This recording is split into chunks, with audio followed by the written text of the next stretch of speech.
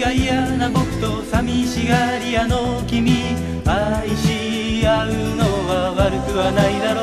う。僕の胸に頬寄せて眠るのも朝が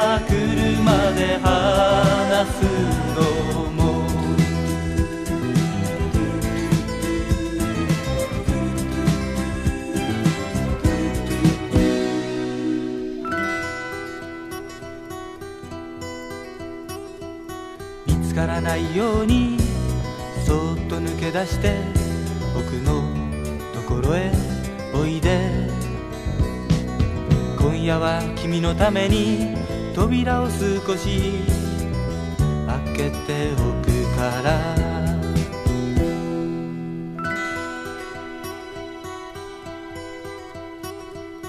小さな喫茶店を開こうよ。僕がマスター君がお盆を持っていつかお土産下げて君をくださいと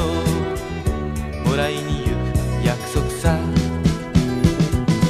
一人が嫌な僕と寂しがり屋の君愛し合うのは悪くはないだろう。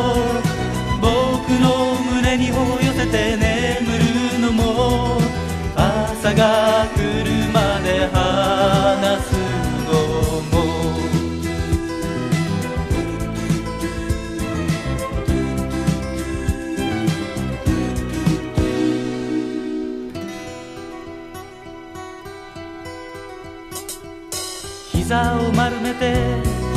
部屋の隅足が震える君がいるいつかギターのある部屋に君と僕の